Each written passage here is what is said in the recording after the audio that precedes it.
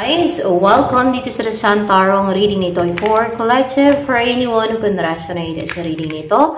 This is a love reading for collective. Your energy at this time.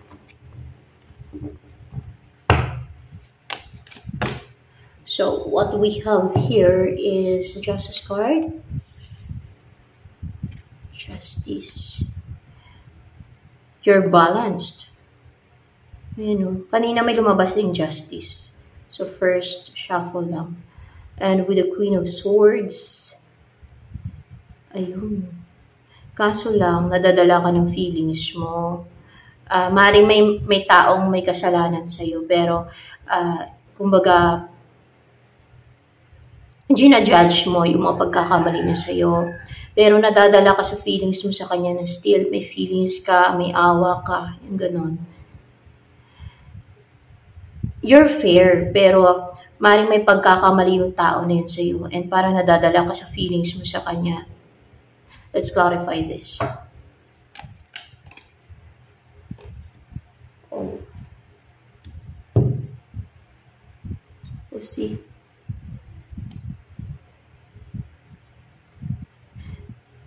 Ayaw mong uh, mag-take ng action uh, or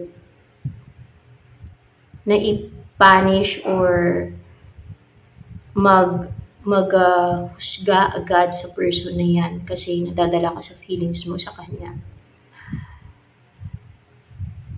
Na para bang pinapairal mo pa rin yung yung understanding, yung pagiging uh, maunawain, understanding nga. And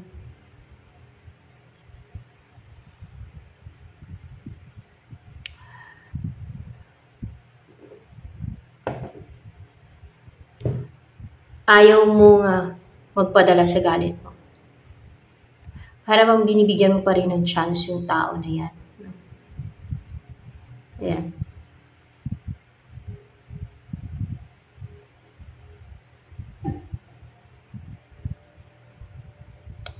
Yes, may pagkakamali yung tao na yan sa'yo, pero uh, nadadala ka sa feelings mo sa kanya. Eh. Maring awa or love, may feelings ka pa rin sa kanya your person na may pagkakaiba sa inyong dalawa. It's your person na hindi nagde-take ng action towards you. It's your person na uh, walang ginagawang action nga.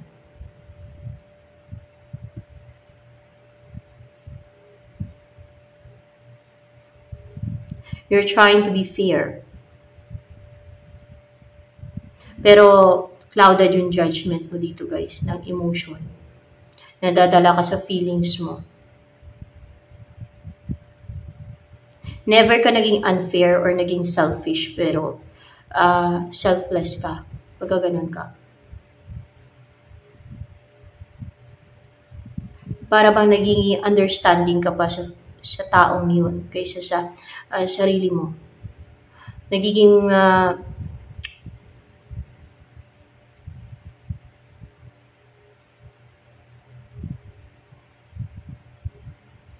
nagiging ano ka pa rin dito eh, um, masyado mong pinapalawakan yung perspective mo. Mas lalo mo pinapalawakan yung isip mo. Mas lalong um, mas lalo mo pinapalawak yung pangunawa mo. Ganon. Instead na husgahan or magbigay uh, agad ng uh, tuldok period sa connection nyo. Maybe it's your spouse, ex-spouse, or else ay may pagkakaiba lang talaga sa inyo sa religion, sa race, sa culture ng person na yan. Parang iniisip mo yung uh, Diyos, yung ganon, yung pagiging spiritual na hindi ka dapat nag nagkikimkim ng galit or hindi ka dapat nag uh, nagtatanim ng galit sa taong yan. Sa kabila ng lahat ng mga pagkakamali niya sa'yo. Yung gano'n.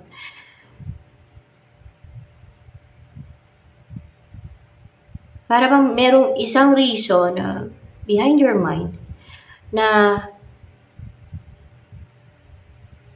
yun yung uh, nagpipigil sa'yo na tuldukan yung connection mo sa person na yan. Yung uh, may mga times na uh, gusto mo nang tuldukan eh. Pero nadadala ka ng feelings mo, maring awa or may feelings ka pa sa kanya, ganon and possible uh, yung naisip mo na meron kayong uh, spiritual mission together or spiritual purpose na baka kayong dalawa pang magkatuluyan.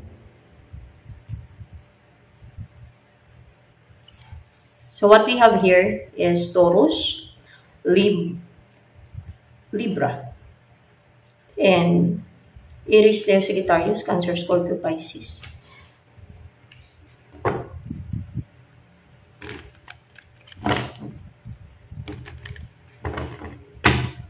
your main energy. Ano kaya main energy mo? OC. Clear yung isipan mo. Wheel of Fortune. So, you are fortunate. Swerte ka. Lucky ka. And, hmm, lucky ka. Maswerte ka sa pag-ibig. Or siswertein ka na sa pag-ibig. Yung ganyan. And, uh, clear yung isipan mo. You know what you want uh, parang uh, double-edged sword yung isip mo na ano eh, uh, sharp eh, no? And um, para bang yung uh, para kang eagle dito na sharp yung uh, vision mo, yung mind mo pati. Tingnan nyo yung eagle, di ba, napaka-powerful and you're supported by luck.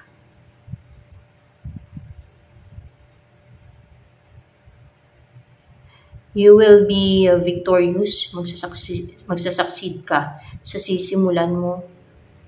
Dahil alam mo kung ano yung gagawin mo eh. Alam mo kung ano yung gusto mo eh. Alam mo kung paano makuha yan eh. So, yan.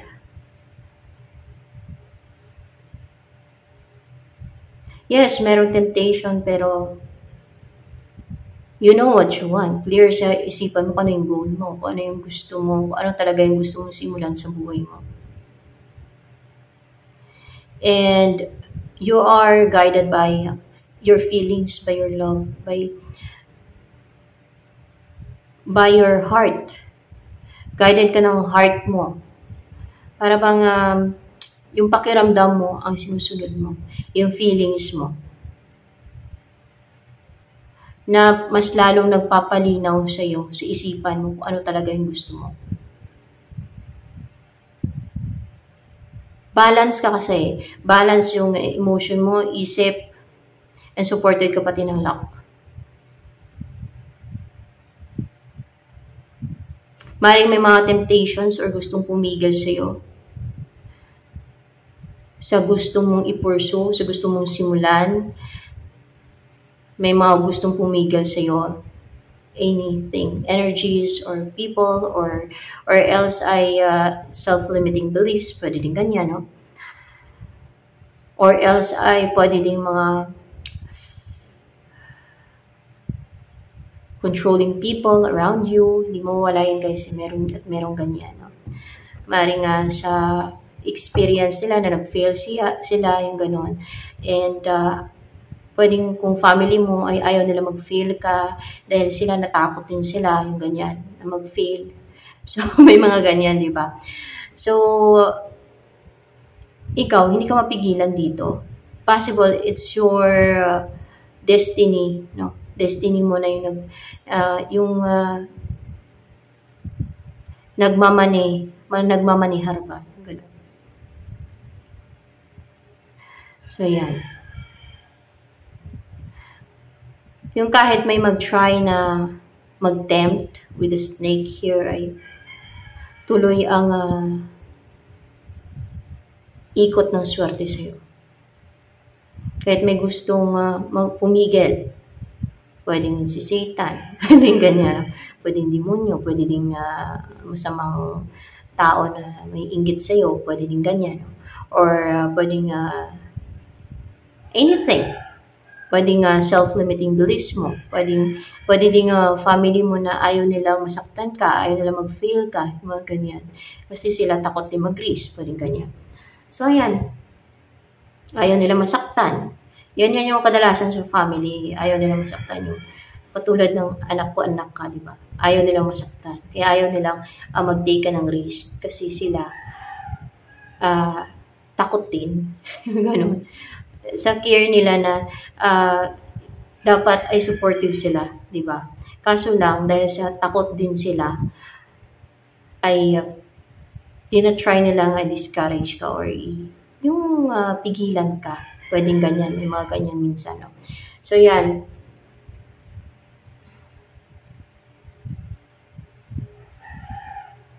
Kaya hindi dapat pigilan yung may pangarap. Lalo pag anak mo, hindi mo dapat pigilan yung pangarap ng anak mo. Hindi mo kailangan, hindi mo dapat i-discourage kung may anak ka. Dapat suportahan mo ka. Kasi kung i-discourage mo yan, napanginaan ng loob. Maliban lang kung talaga napaka-courageous at malakas ang loob ng anak mo. Kasi number one dyan, magulang ang dapat na susuporta sa anak. Yung ganyan. So yan, di bali lang against yung mundo, yung ibang tao, sa pangarap ng anak mo. Basta ikaw na magulang ay supportive ka, magsasucceed yung anak mo. Pero kung ikaw mismo na magulang yung uh, nag, nag uh, discourage sa anak mo, ay talagang mahina, panghinaan ng loob yung anak mo. Yun yun. Um, well, wala pa akong anak, pero nasasabi ko yan based sa experiences ko sa magulang ko. Kasi magulang ko takot din. So, yan. Kaya dapat ay, kasi bata pa ako guys, talented na talaga ako. Ang dami kong sinasaliang ano. Pero, yun nga lang, pinipigilan, may pumipigil, may mga, hin, may mga nagdi-discourage, family mismo. Kaya dapat, ganun. Yun yun, sinasabi ko dito. Kaya kung ano yung goal mo, at anak ka na, suportahan mo na lang. Diba? Kasi, uh, pag suportahan mo yung anak mo, ay malayo mararating yan. Kahit pa maging against, ay, I mean, kahit maging against pa yung mundo, no? Pagka magulang mismo ang sumusuporta or isa sa family ang sumusuporta sa bata, no? Pag merong talent, skills, or abilidad. Kahit isang, kakayanan lang yan, kahit isang skill lang yan, magsasucceed yan. Kahit isa lang sa family, paano kung puro kayo lahat against? Kailangan ng support niyan. ba diba? Ganun yon So, kung ikaw may pangarap ka, pursue mo na lang. Kung ayaw man, kung ayaw ka man suportahan eh, kahit ni isa sa family mo, tuloy mo lang. Luck on your side. Yon. Yan guys, based experience ko yung mga inaano ko din sa inyo. No, based sa mga na, ano ko din. Walang masamang uh, mangarap Walang masamang um, maghangad na magtagumpay. Ang masama dyan ay ang uh, pigilan or yung matakot ka, yung ganyan, kung ano man yung goal sa buhay. So yan, kasi pagka pigilan mo pa yung sarili mo na ikaw mismo dapat ang magtiwala sa sarili mo, ay kung pipigilan pa yung sarili mo, hindi ka magtitiwala sa sarili mo, wala kang mararating. Katulad ka ng mga tao mo nagpipigil sa'yo, pumipigil sa'yo, ganun yun. So, yan. Kahit pa, pa step by step pa, unti-unti lang. Ganun yun. So, yan. So, uh, let's see. Kahit step by step, hindi naman agad-agad yan eh. Yan. So, let's see kung ano yung uh, mga paparating sa'yo.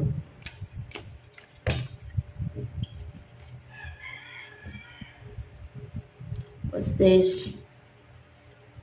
Six of Pentacles, Four of Wands, ah,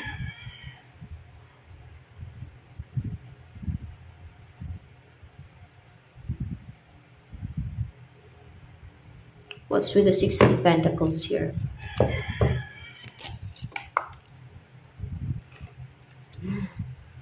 Emperor. Arrogante tao to, guys. This is someone na uh, uh, pinaantay ka. Okay. Ito yung taong hindi nag-commit sa'yo, walang offer ng commitment. Um, ito yung taong uh, parang tyrant. Walang control sa sarili. Masyadong aggressive. Masyadong matapang. Parang uh, failure din. Dumaan or dumanas ng failure sa buhay niya with the emperor in reverse. Nawala ng control sa sarili niyang buhay, emosyon, or uh, sa mga pangyayari sa buhay niya. Okay, maybe it's your past person. Past person with the Six of Cups na karoon ng separation sa inyong dalawa. Nawala yung uh, magandang samahan yung dalawa ba? Nawala yun. Yung uh, lambing, yung nawala yung lambing, nawala yung uh, pagiging caring at pagiging affectionate yun sa isa't isa.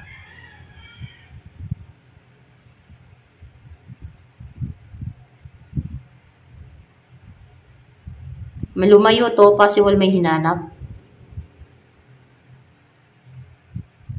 Pero namimiss ka din niya. This is someone na generous eh. Pero, or possible, itong taong to ay sinafety niya yung sarili niya. Naging selfish to. Uh, inuna niya yung uh, yung komportable siya, yung stable siya, feeling stable siya. Maring nadala to sa takot, guys. May takot, may kinatakutan to na uh, parang sinifty niya yung sarili niya. This is someone na magbigay ng konti pero nakalista. O tutulong pero nang buboy-boy. Or bilang yung, yung pagtulong niya. Yung tutulong kahit konti pero yung parang ang laki ng utang ng loob mo sa kanya. Ganyan yung tao. And with the Seven of Pentacles here, maring pinantay ka nito. Hmm? Maring pinaantay ka niya na para hanggang sa parang mawalan ka ng pag-asa kakaantay sa taong yan. Na sobrang malungkot ka. Na sobrang uh, drain ka na. Hanggang sa tumamlay ka nakakaantay, wala pa rin. Ano ang reason kung bakit uh, naging arrogante itong taong to? surpassed person. So what we have here is Aries, Cancer, Scorpio, Pisces, uh, Taurus, Virgo, Capricorn, um, Aries, Leo, Sagittarius, Taurus, Virgo, Capricorn. Anong dahilan kung bakit kanya pinaantay? Yung tao yan.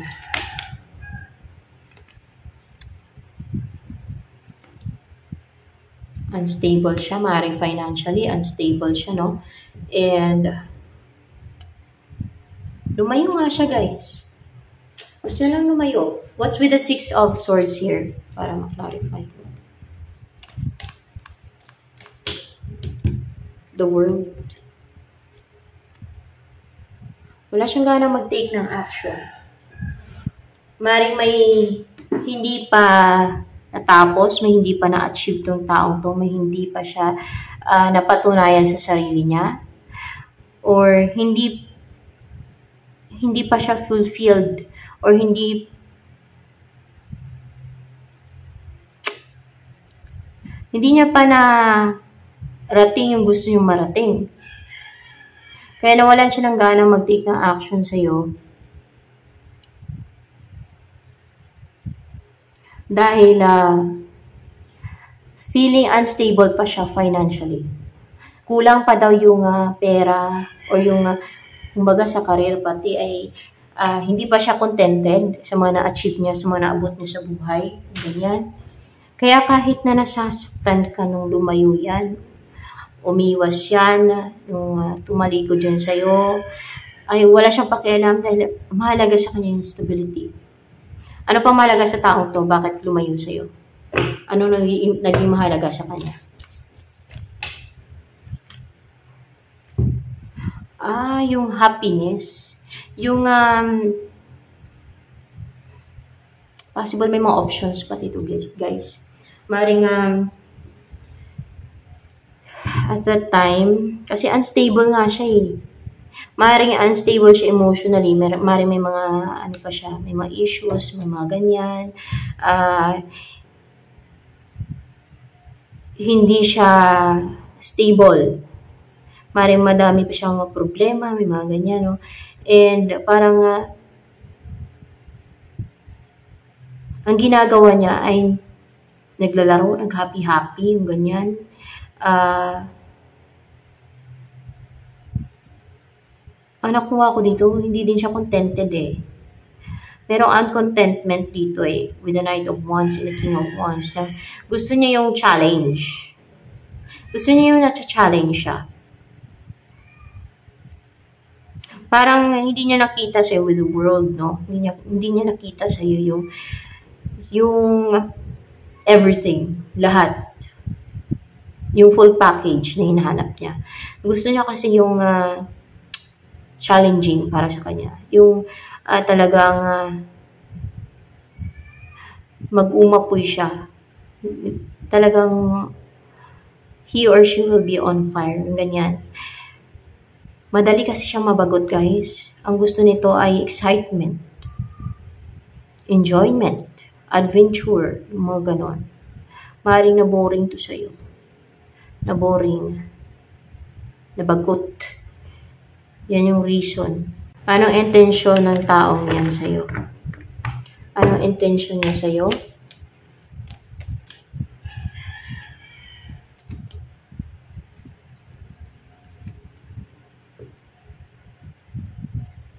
Justice.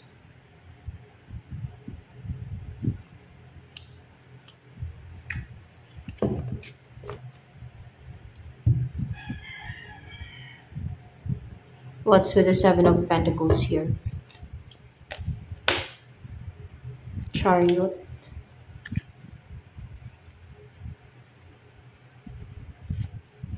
Okay.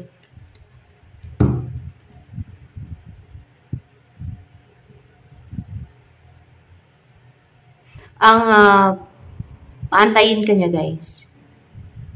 Ang gusto mag-antay ka. Kung kailan siya ready na puntahan ka.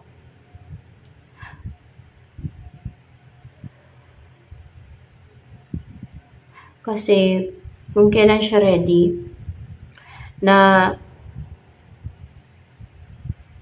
yung balance na siya, yung stable na siya, kung kailan siya handa ng dumating sa buhay mo, na mag-take siya ng action towards you kung kailan siya ready na mag-settle down sa'yo.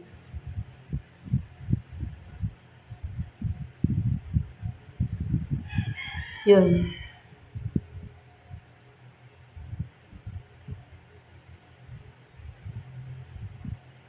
With the Page of Swords,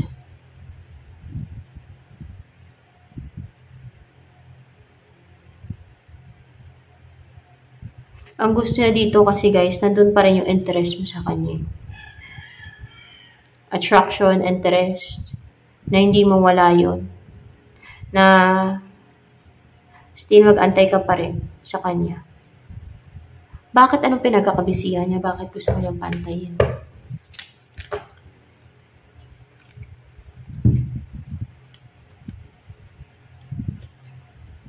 Nag-iisip pa yan unstable pa daw siya. Hindi pa daw siya stable financially. What's with the emperor here? Para sa kanya, hindi pa siya stable. Yun mo na pag isip-isip niya. Ah, heartbroken pa siya.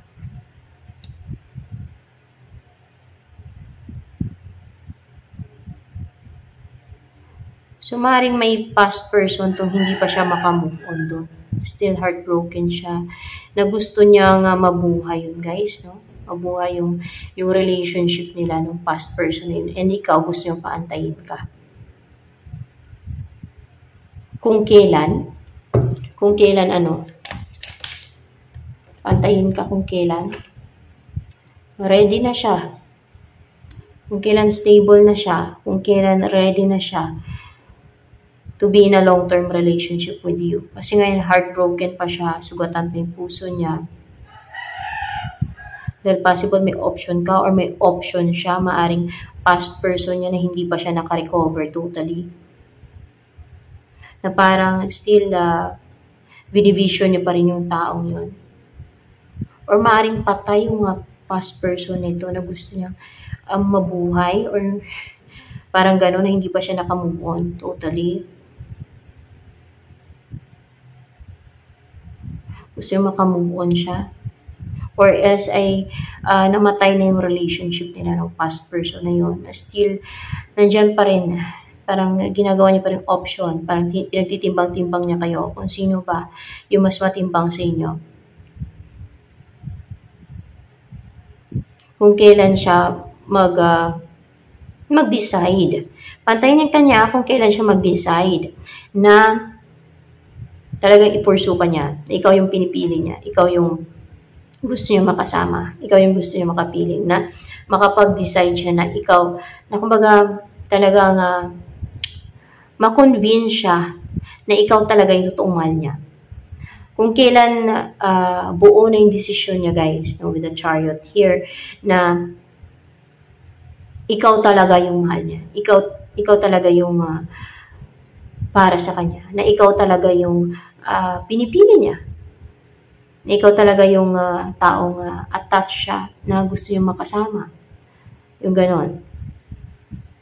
So, may pagka-selfish, unfair nga to with the, ayun, unfair. Doon pa lang sa first card, unfair na itong person na to. Gusto ko niyang pantayin kung kailan siya handa na uh, to be in a long-term relationship with you. Na kung kailan siya handa na ipursu ka with the chariot.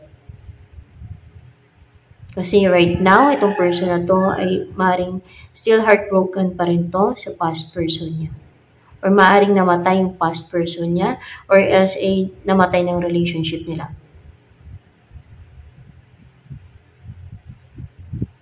Na still nandyan pa rin sa puso niya. Parang pinagtitimbang-timbang niya kayong dalawa kung sino talaga yung matimbang sa inyong dalawa. Ano ba tong option niya? Ikaw and what? Ikaw and what? Ano tong option niya? Ikaw and what?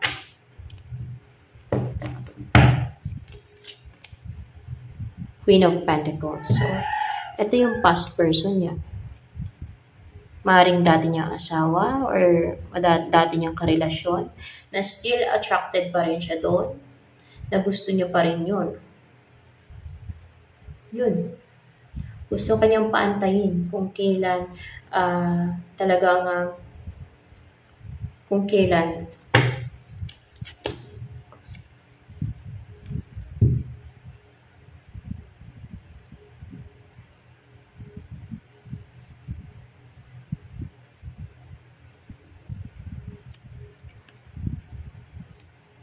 yung uh, wala na talaga sila. Parang malabo na, wala nang pag-asa. Kung kailan mawala na yung pagmamahal niya dun sa taong yun.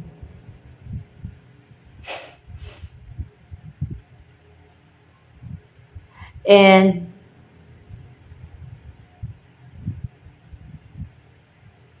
kumuwala na yung pag-iisip niya sa taong yan.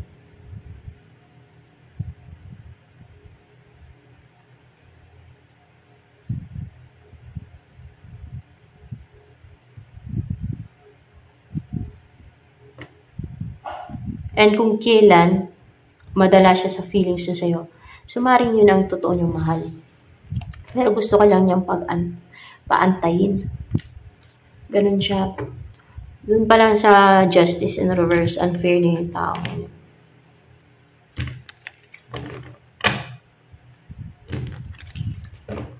So, ano yung mga papasok sa buhay mo? Hindi maasahan yan guys pag may mga option. So, maaaring siya pa rin makipag-ayos sa'yo. May mga insecurities. Wala nga believe sa sarili. Siya. Siya nga yung papasok sa buhay mo. Pero tingnan natin kung anong surprise ng universe sa'yo. Pero hindi pa siya ready, guys, no? Still, nahirapan pa rin siya. Nakataas pa rin yung wall niya. Hanggang ganun lang. Hindi pa siya ready for a new beginning.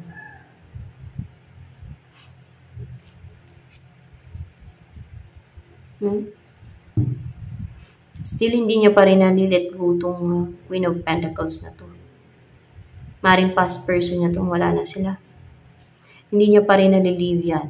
Hindi niya pa rin na maibasura yan. Nagmamatigas pa rin siya na, na mahal pa rin niya yan. Possible penetration yan eh. Nasaktan siya. Yeah, penetration, heartbroken siya sa Queen of Pentacles niya. And ikaw, gusto ko niyang pantayin. So, yan. So, ano yung mga surprises ng universe sa'yo? Oh. What we have here. Let's clarify that.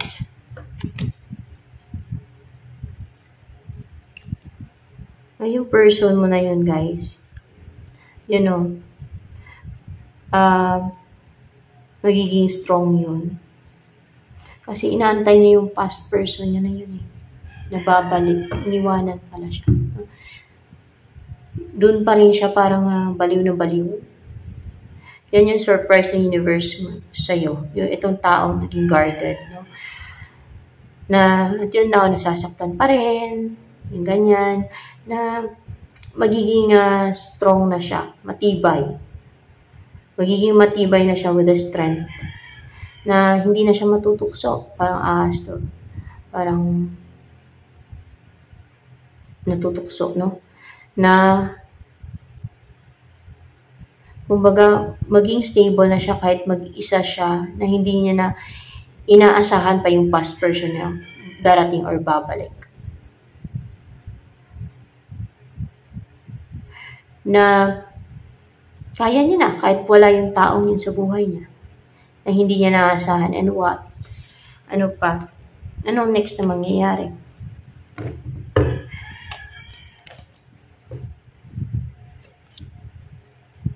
Hangman stuck. Stuck tong taong to. Yan yung next na mangyayari. And then what? Ano magiging action niya towards you ng taong yan Three of Cups, oh, makipag-reunite to guys. Pero kahit nasasaktan siya, makipag-reunite siya sa'yo. Pero, an kasi Three of Cups, no, maaaring nandyan pa rin sa puso niya yung past person. Sobra siya nasaktan doon. Anong next na mangyayari sa inyong dalawa ng tao? Healing?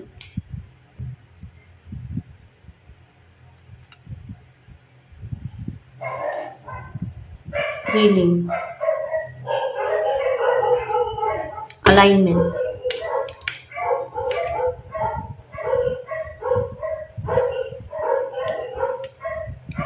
Page of Pentacles.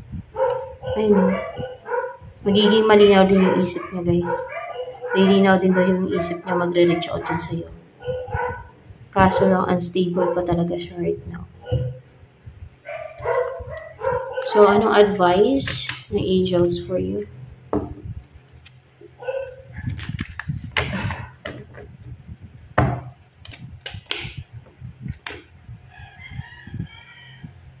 Hermit.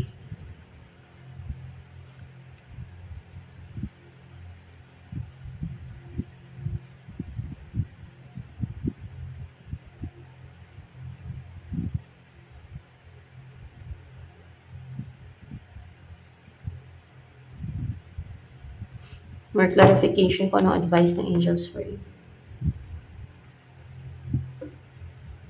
Oh.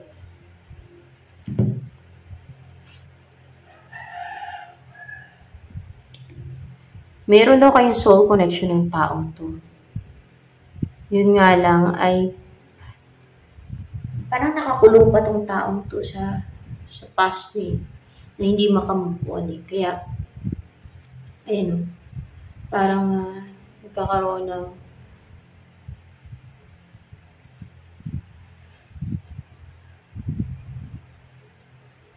ano siya? Meron siyang um, issue sa past. Kailangan niya makamove on doon para maging uh, strong siya ulit maging maging energetic, maging active. What's with the King of Cups here?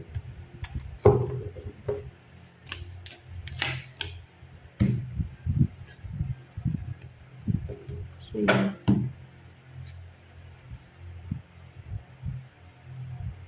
Yun nga, eh, may mga baggage tong taong to na kailangan mo na yung i-leave. Pag, pag natanggal na daw yung mga baggages niya, pag na-leave niya daw yung mga baggages niya, yung past person niya na yun, yung Queen of Pentacles, makipag-ayos daw yan sa'yo.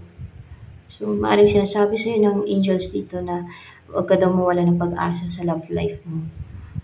Kung siya talaga yung mahal mo, ay may pag-asa sa inyong dalawa. You will be together. At pagsamahin kayo ng angels, yung ganyan. Um, ngayon ay in the hermit mode itong taong to. So, may pagmamahal ba sa yung taong to? May pagmamahal ba sa iyo?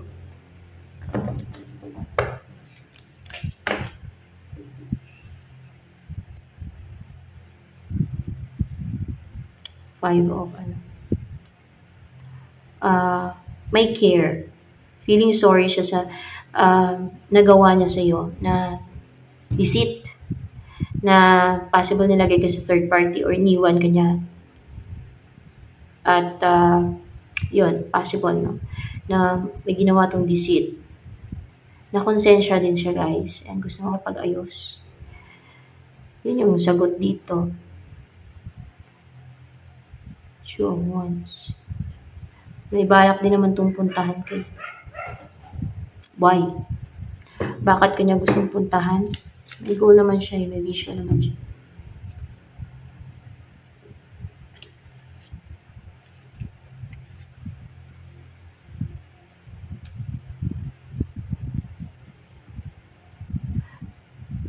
Para mag-grant yung wish mo. Mari may winish ka or hiniling ka dito dati sa person na to na puntahan ka niya or magkita kayo or kung ano man yan na hindi niya naibigay yun sa'yo dati, nag-fail balak na uh, i-grant yung wish mo or ibigay yung kahilingan mo pag stable na siya. Ito yung wish mo, ito yung uh, surprise yun ng universe na magiging stable yung tao yan. And uh, this person could able to give or grant your wishes. Yung mga kahilingan mo dati na nag-fail siya na nag-sneak away siya kasi still in love siya dun sa isa. In love or ginayuma. Wala namang lumabas na ginayuma, pero baka ginayuma ng isa. Kasi hindi siya makamove on, move on dun eh. Tapos sinanraidor lang naman siya. Yan. Pero kung sakali na gayuma yan, pero pag tinanggal mo, yung gayuma sa taong yan, pag natanggal yan, mawala na yung feelings niya doon kasi kung gayuma lang naman, matatanggal yan isahan lang yan, mawala na yung connection niya doon, mawala na yung, yung nararamdaman niya doon, kung ginayuma lang naman talaga siya. Pero walang, walang lumabas ditong ginayuma guys. Maaari. Hindi ko kasi hinalungkat, parang hinalungkat eh.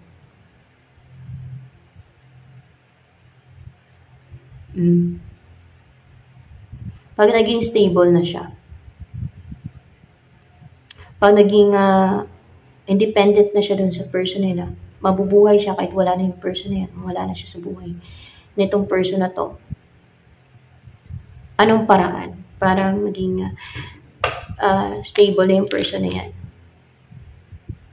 High Priestess. High Priestess.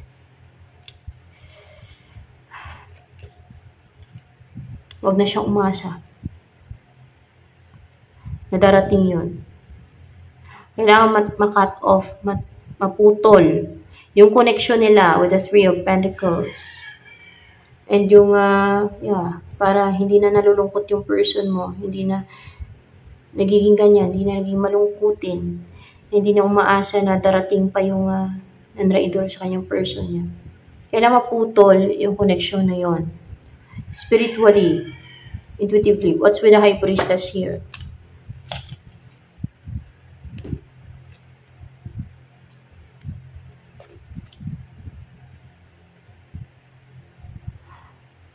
Hindi yan, ano, hindi yan uh,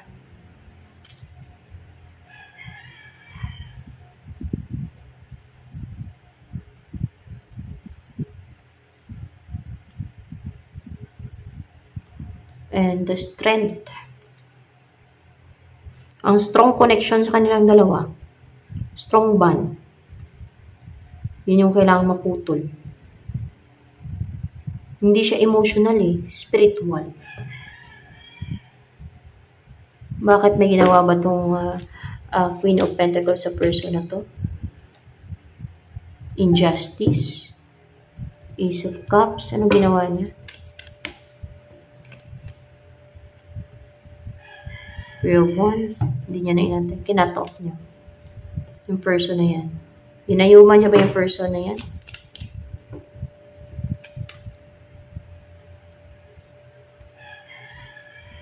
Oh, ginugulo niya yung isip. Possible. Uh, distracted yung utak ng taong to. Na napapaisip yung tao sa kanya. Possible. Yes. May ginawa yan. Yung mga selfish kasi. So, ayan. So, ito na lamang guys for collective reading. Sa mga baguhan po dito sa aking channel, please do subscribe. At huwag po ninyong kalimutang i-click ang bell button nang sa ganun mo notify kayo sa mga susunod na videos ni upload ko. At paki-like naman po, paki-comment na din sa ating comment section box. Lalo na sa mga nakaresonate sa reading nito.